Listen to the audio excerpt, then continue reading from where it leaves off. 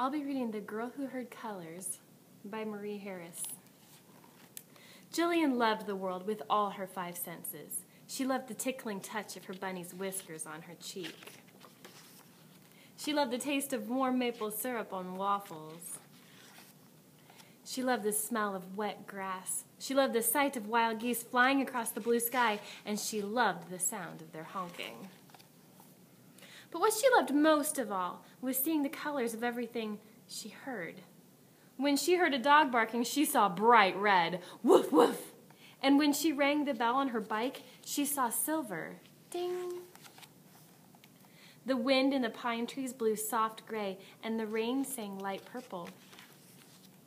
Soon Jillian was old enough to go to school. She loved school with all her five senses. She loved the cool, slippery feel of the floor and the tart taste of the apple at snack time. She loved the smell of markers when her teacher wrote on the whiteboard. And still, she saw the colors of everything she heard. The sound of the school bell was as orange as a pumpkin. Ring! Her teacher's voice was as green as a frog. Recess! At recess, the children sounded as gold and brown as the leaves on the trees. Then one day, something strange happened.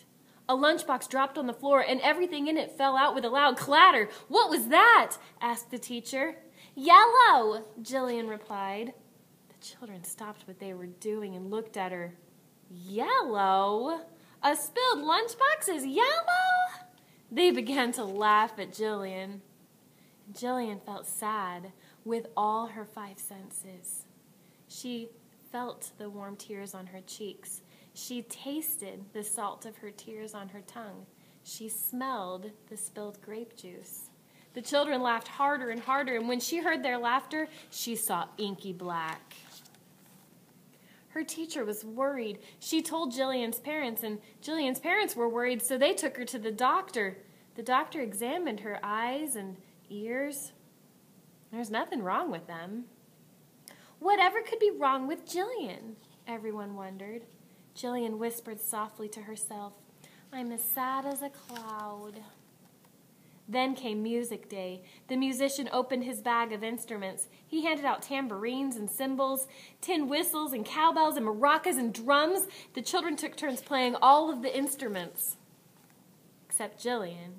She covered her ears and squeezed her eyes shut. What's the matter? asked the children. What's the matter? asked her teacher. Well, what's the matter? asked the musician. And Jillian said, I'm hearing too many colors at once.